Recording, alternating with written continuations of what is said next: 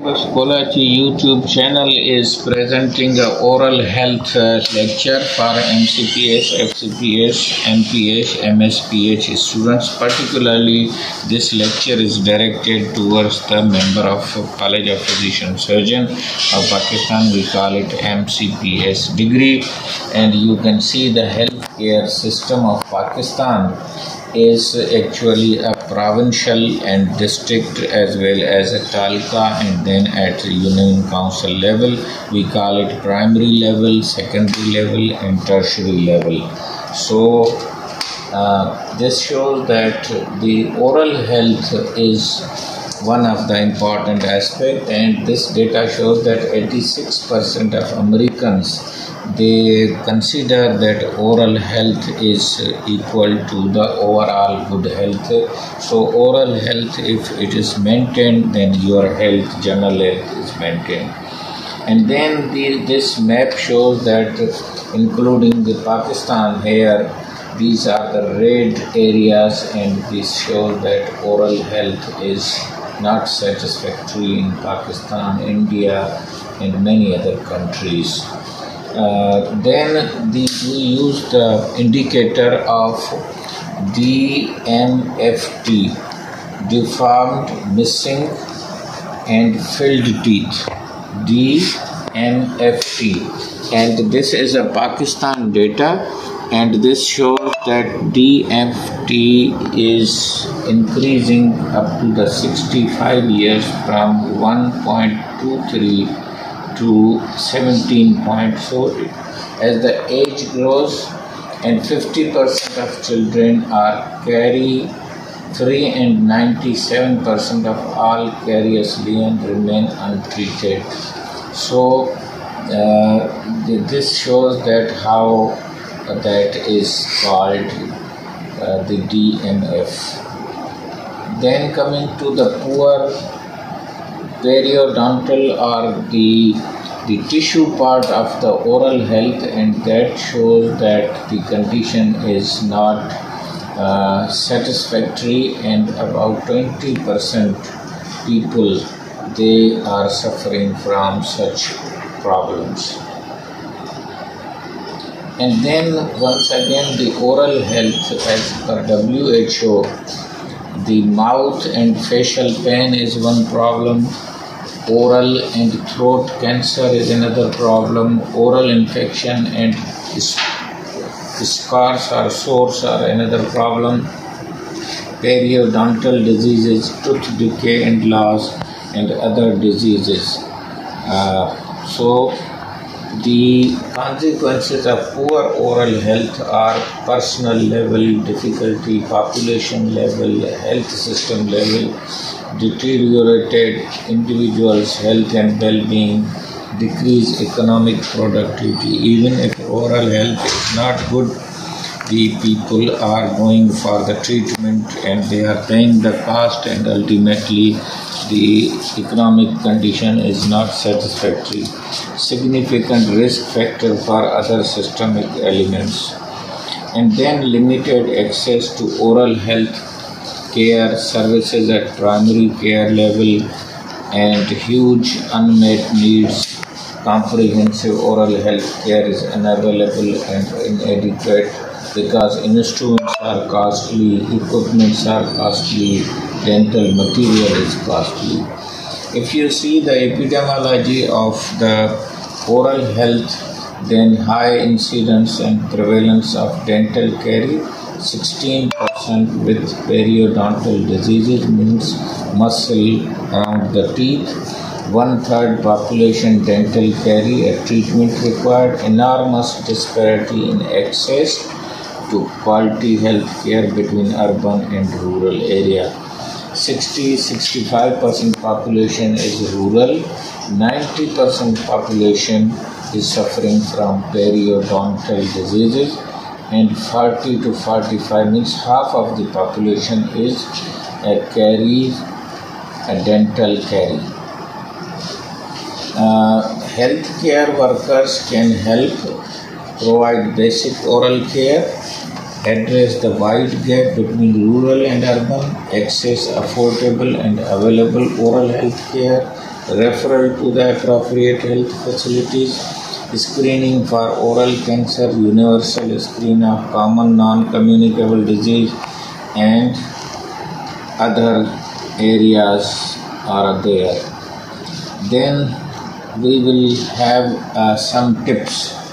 Brush thoroughly twice a day with a soft bristle toothbrush or miswak or tree twigs. They are particularly the pilu tree is very common and it is soft as well as it has many minerals and chemicals, potassium and other things.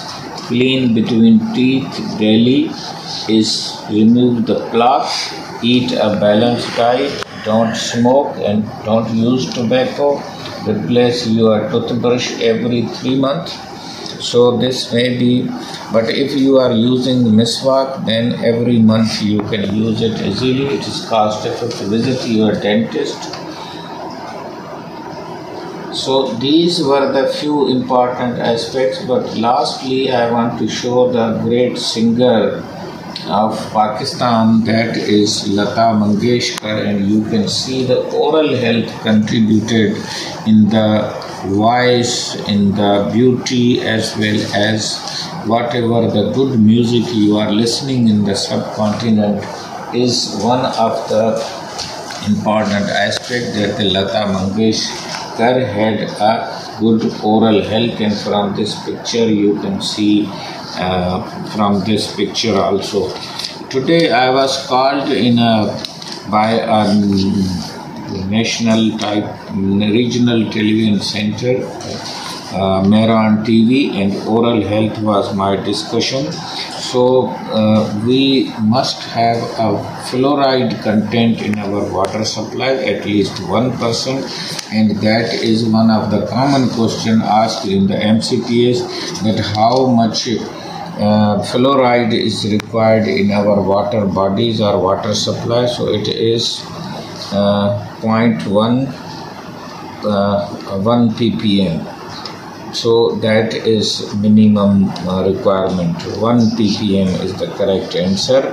And then we can stop the sweeteners uh, uh, confectionaries uh, eating sugar soft drinks sweet uh, things just like other confectionaries cakes. So if you are regular eater of these things then the acidic level of the oral cavity will be less than 5 where that is acidic and will cause the decay and we call it carie or plaque in the uh, one of the common oral cavity microbiota or microbes are about research tells that about 300 microbes including bacteria and other things they are present in the mouth cavity and if they are uh, not properly dealt with the cleanliness then that can be one of the uh, cause of pneumonia as well as even the HIV can also uh, reach to through the oral cavity because of the oral practices or oral uh, Western countries they believe in such kind of uh, oral activities.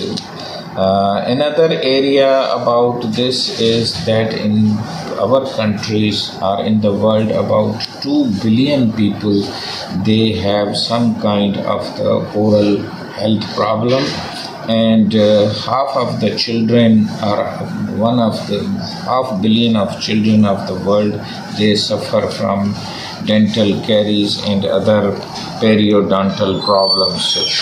Uh, so the prevention lies that you should have toothbrushing or miswak daily or twice. Uh, then you can use the gargles and rinsing method and you can have a, uh, sodium chloride gargles that can clean your throat and oral health is important because it can give you a social and communication uh, importance in, in the society as well as it can improve the health, uh, individual esteem of the life, and your lifestyle also. So, with this, I think uh, uh, I will request that uh, the toothbrushing or miswak use is important, avoiding sweetener is important. And one aspect is that we are achieving the ice also that is a habit that can crack your oral cavity injure oral cavity. And above all the awareness that the oral health is the gateway to your general health so we must have more facilities more awareness uh, more uh, awareness about the early detection of the oral or dental diseases. Dr. Hussain Bux Kolachi YouTube channel will provide you latest information and I think in the context of the Pakistan the DMFT is important and we must have more surveys at local level.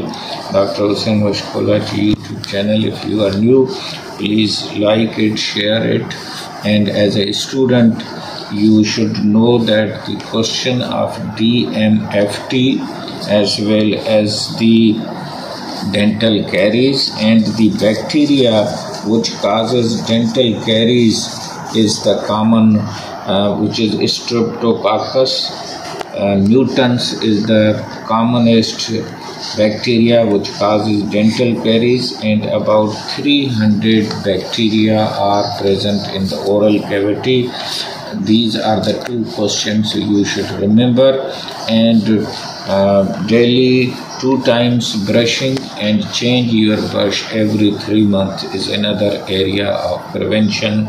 And avoiding sweeteners or more sugary uh, products is one of the area and fluoridation of the water bodies is important. Thank you very much